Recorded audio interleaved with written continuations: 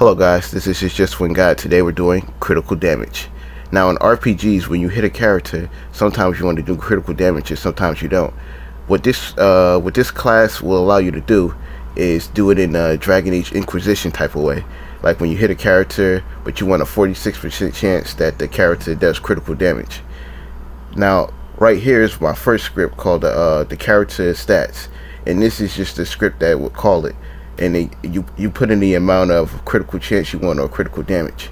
Now this is going to be a short little tutorial because I actually planned on doing another tutorial today. But as I was working on my game, I figured this out and I figured it, it's no real tutorials teaching you how to do it, so I'll put it up. And hold on, here's the actual class. Now this right here, this just figures out percentage. Like if you want to figure out how much was uh 46% of 1 million or something, this will figure it out. And it's pretty much commented out, but it's not really important to what we're doing right now. What is is uh, this down here. And this is just to tell you whether the critical damage came true or not. This is uh, this isn't important. It's just a number that it uses to figure out the calculation. And this is the actual function. You just call this function right here uh, from a different script because this is a class. You don't actually put it on your character.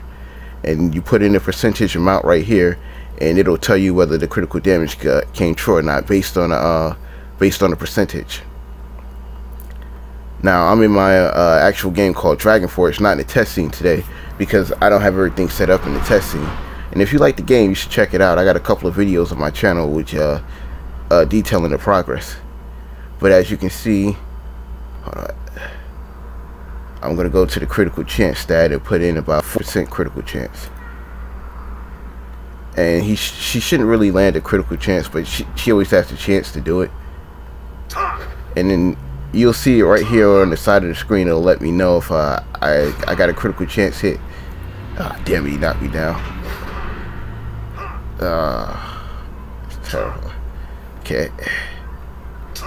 Oh, clicking in the wrong area. And you see, I'm not really doing any critical damage because it's 4%. Now in a minute, I'm to switch it up and make it 99% and then you can see how often I get a critical hit. Let's restart the game.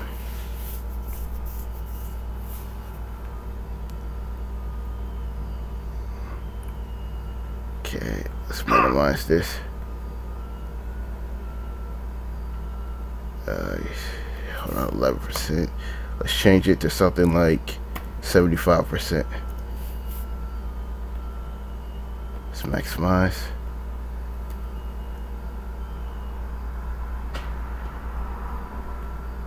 And you see right off the bat I got a critical hit, another critical hit. Almost every hit because it's 75%. Now let's change it to something at about 40%. See how that, uh, 35, let's see how that does. Oh, I gotta restart the game first it's going to change it because the game automatically sets the stats based on your race and stuff like that. Ooh, it. Okay, let's set it to 35 now.